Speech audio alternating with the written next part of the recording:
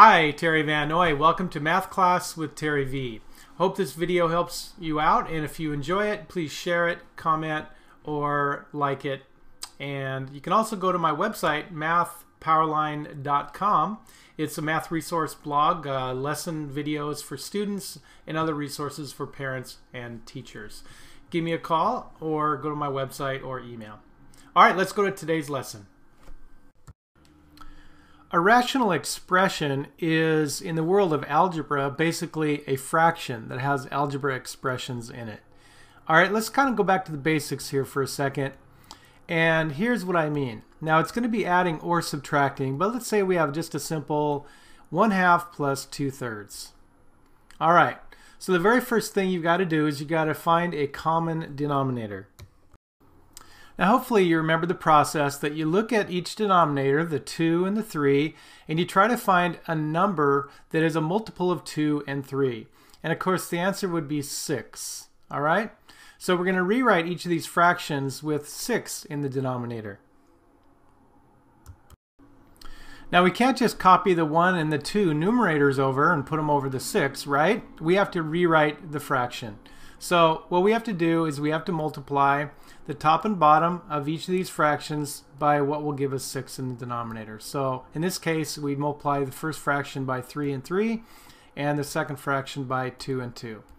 All right, as long as they're the same, because we want to really be multiplying by 1. So the next step is to rewrite each fraction. This is also known as making equivalent fractions. Okay, so in this case, 1 times 3 is 3. So we have the another name for um, 1 half is 3 sixths, and 2 times 2 is 4, so that would be 4 sixths, another name for 2 thirds. All right, next step. Now we're going to either add or subtract, and of course that would give us 7 over 6. Okay, just simply following our operation. And the last step is to simplify what we've got. Now in this case we'd get a mixed number 1 and 1 sixth. Okay? The nice thing though with rational expressions, when we have fractions that have variables or variable expressions in them, we don't really have to worry about improper fractions. We would leave our answer, for example, 7 over 6. Okay, we're going to look at some examples in a minute.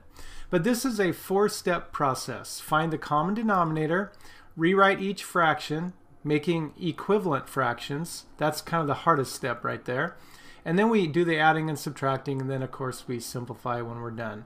All right, let's go ahead to our first problem set.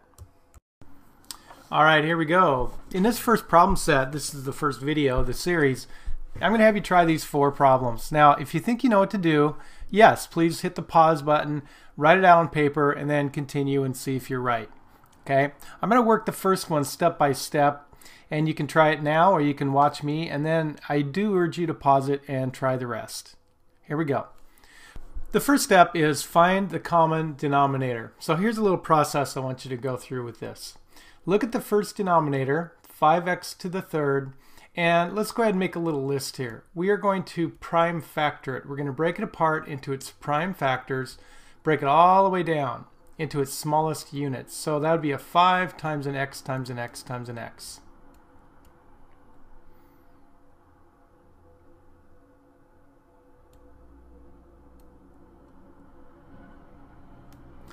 Then we're going to do the same with the other denominator, 2x to the third.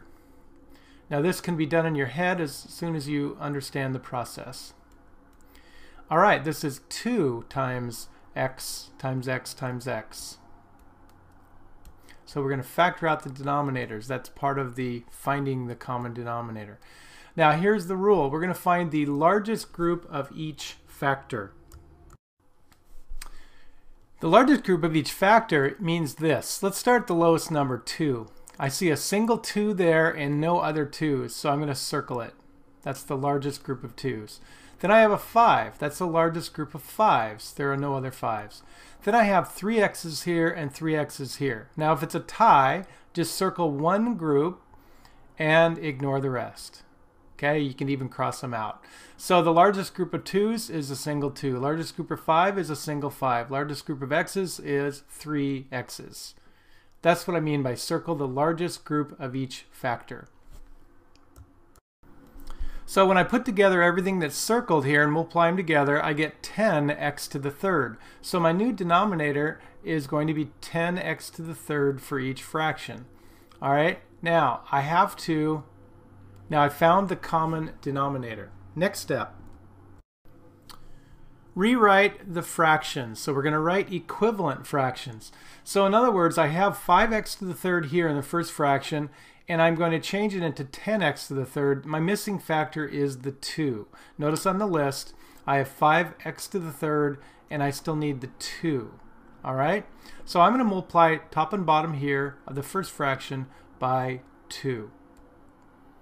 Or 2 over 2 for the whole thing. All right, so what's the missing factor here? Well, I have 2x to the third, and I'm missing a 5 factor out of my common denominator. So I'm going to multiply top and bottom by 5. All right? So determining what to multiply each fraction by is the key. We're rewriting the fractions. So on the top, I have 4 times 2 is 8. And on the top here, I have 25. No problem. Next. So the next step is add or subtract. In this case, 8 minus 25. Now think about your integers. That should be a negative 17 over, remember you just carry your common denominator with you, 10x to the third. All right, there's our final answer. All right, now you try. I'm going to go a little faster. Remember to do these four steps. Find the common denominator, rewrite the fractions, then do the adding or subtracting, and then simplify when you're done. Good luck. Number two, we have a denominator of 6n and another one of 2m. So let's go ahead and break those apart. 6n is going to be 2 times 3 times n, right? Prime factors. 2m is going to be just 2 times m.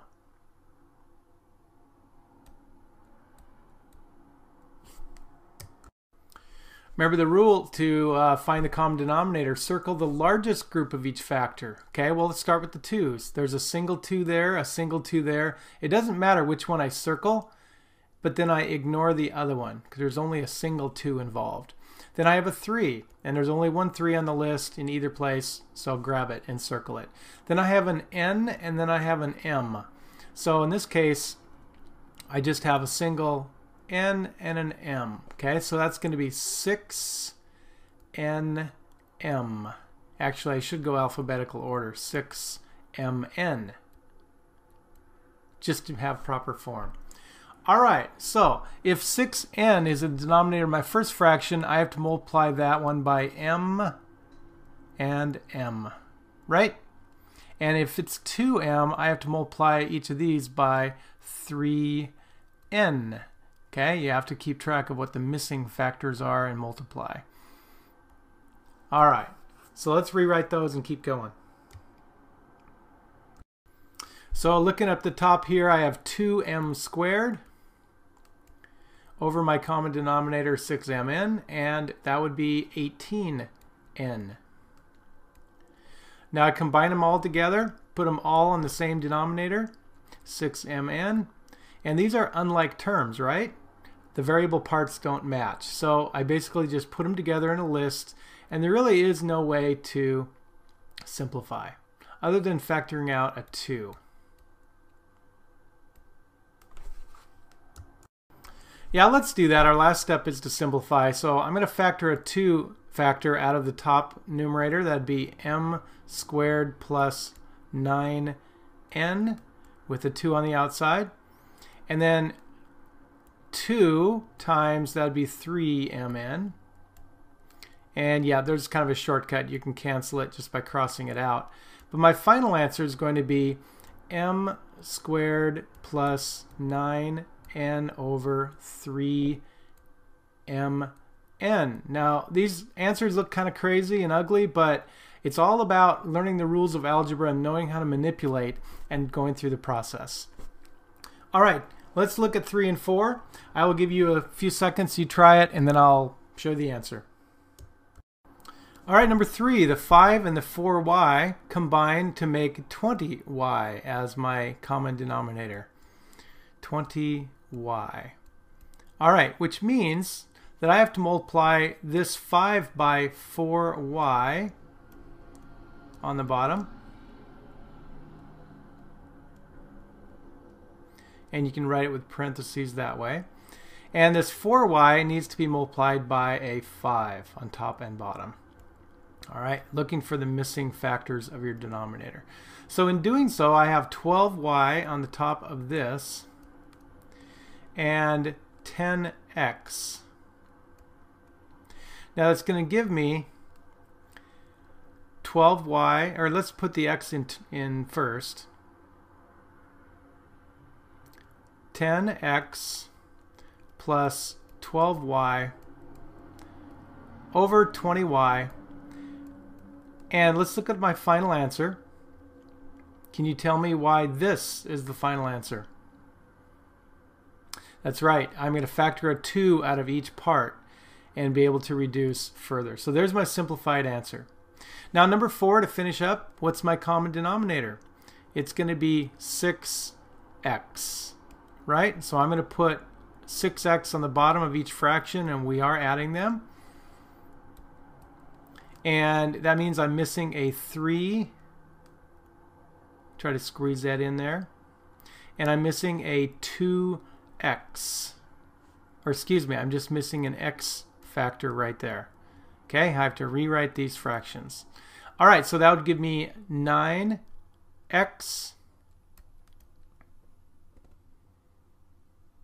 and 4xy. Well, wait a sec. How did we get this answer? Ah, because when we combine these together, we're going to get 9x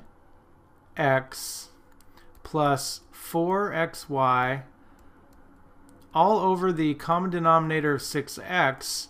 And, you know, with some of these, the simplification becomes a little tricky. You just have to kind of be able to factor and figure out what's going on. There's a common factor of x in each, isn't there? So that would be a 9 plus 4y multiplied by the x factor. I have an x factor here, which leaves the 6. And then, of course, we cancel the x's out. And that's why my answer is as shown. All right, now we're going to get into some more complicated examples. This was problem set number one. Thanks for watching. Now look for, under the same title, how to add or subtract rational expressions, problem set two. All right, good luck. All right, there you have it. I invite you to go to my website now, mathpowerline.com, or email me or give me a call. The way I work best with students is live online in my classroom. So if I can help you in any way, answer some specific questions, the first lesson with me is free as I show you how everything works. All right, study hard and take care.